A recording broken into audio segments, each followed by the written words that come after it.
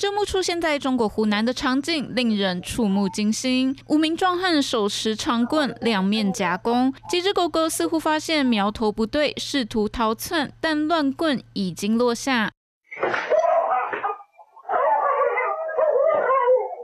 狗狗发出哀嚎，五名男子赶紧追上，引发骚动。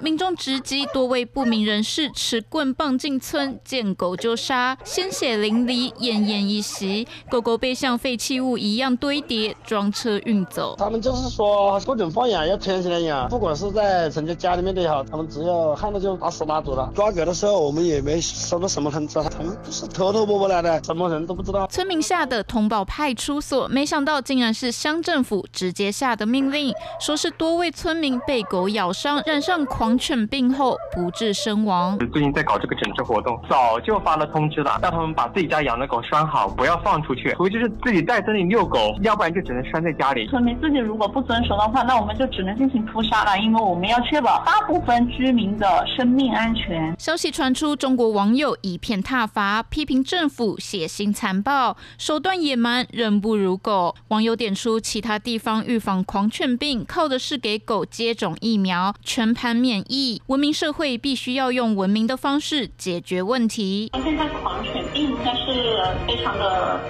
就怕有狂犬病泛滥。对，差不多就是这个意思。回答的不明不白，连预防狂犬病都说不出来。中国自诩发达国家，但离真正文明似乎还有一段距离。三立新闻网上报道。